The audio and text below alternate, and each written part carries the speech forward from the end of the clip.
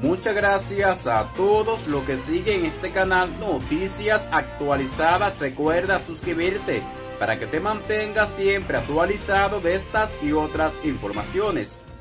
El presidente Luis Abinader aseguró este sábado que en su gobierno no se está robando y que actualmente se está construyendo más obras con menos gastos, a resaltar que su gestión se está administrando con eficiencia y honestidad, recordó que tiene un compromiso con la transparencia las declaraciones del mandatario se produjeron al inaugurar la planta potabilizadora y depósito regulador de acueducto partido La Gorra en Dajabón con una inversión de unos 63.774.607 pesos. En ese sentido, el mandatario reveló que en la actual gestión se ha llevado agua a más de 900.000 personas con una inversión de más de 2 mil millones de pesos. Gracias amigos por seguir esta noticia. Recuerda suscribirte. Nos veremos en un próximo video.